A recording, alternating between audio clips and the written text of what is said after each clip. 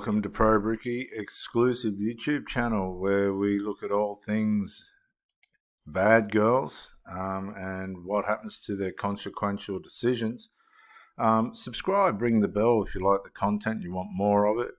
And if you like the video, like it and share it. Get this out there, man. We've got an elderly woman, 78, arrested after pulling off her third bank heist. And she looks innocent. She's an innocent looking type of old woman, isn't she? Bonnie Gooch made officers' jaws drop when she stepped out of the car. An elderly woman has been arrested for robbing a bank a third time. Real life Bonnie Clyde, Bonnie Gooch, 78, was cuffed and charged on Wednesday afternoon after allegedly robbing a bank in Pleasant Hill, Missouri.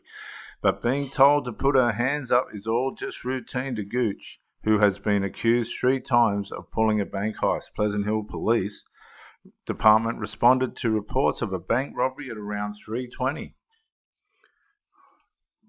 Officers spotted a car matching the description that were given the Goppert Financial Bank staff only a few hundred yards away from the scene. They found Gooch in the front seat alongside evidence that tied her to the crime, which she carried out wearing a face mask, sunglasses, and plastic gloves. Police and Thomas, Chief Thomas Wright, told obviously it was a tense situation, but when the hands of an elderly woman come out of the car, and that is who is driving the suspect vehicle, it's a little shocking. Wright told the broadcaster that the force will be evaluating whether the pension needs any support from social services as her case moves ahead department, the police department obtained on Thursday. Today, 78-year-old Bonnie Gooch of Pleasant Hill was charged by the Cass County Prosecutor's Office with stealing or attempting stealing from a financial institution related to the April 5 bank robbery at Goppert Bank.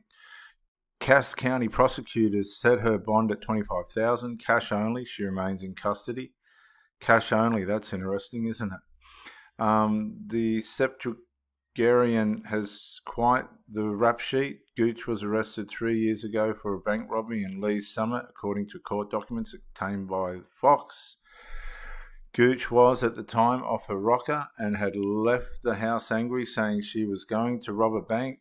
Her son said, according to the document, she was charged with stealing and was convicted. Her prison sentence was suspended and was ordered to have supervised probation until November 21.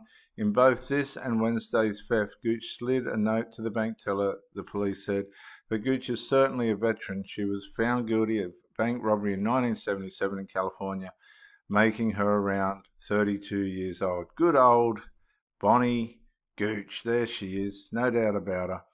Guys, if you haven't already, subscribe, ring the bell um, for more of this bad female consequential decision making content. Um, like the video, share it, and this is Pro Brickie. I'll see you on the next one. Bye for now.